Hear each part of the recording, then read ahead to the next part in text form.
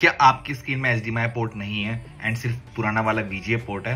And आपको अपने laptop से स्क्रीन कनेक्ट करनी है, जिसमें सिर्फ़ एच पोर्ट है। घबराइए मत, इसका सॉल्यूशन मैं देता हूँ आपको। ये एक H to VGA converter cable. And guys ये मेरे को अमेजोन में सिर्फ़ तीन की मिली। इसकी खास बात यह है कि भाई, इसमें एक साइड तो आता है एच का पोर्ट जो आपके लैपटॉप में लगेगा, एंड दूसरी साइड सीधे आता है वीजीए का मेल पोर्ट जो आपको सीधे स्क्रीन में लगेगा। मतलब कोई कनेक्टेड टाइप का नहीं है, आपको सीधे दूसरी साइड में स्क्रीन पर लगाना है।